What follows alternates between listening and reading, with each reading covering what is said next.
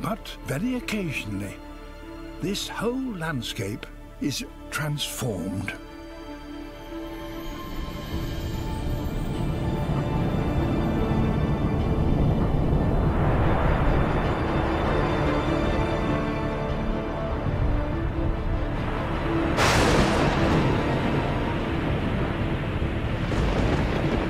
A huge deluge drenches the salt pan.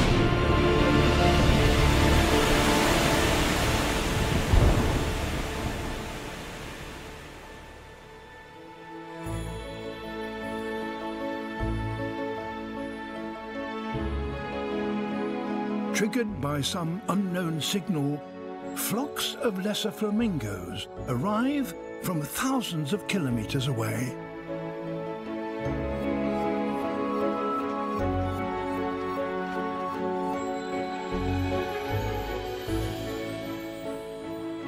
The algae that the flamingos feed on have lain dormant as spores in the dust.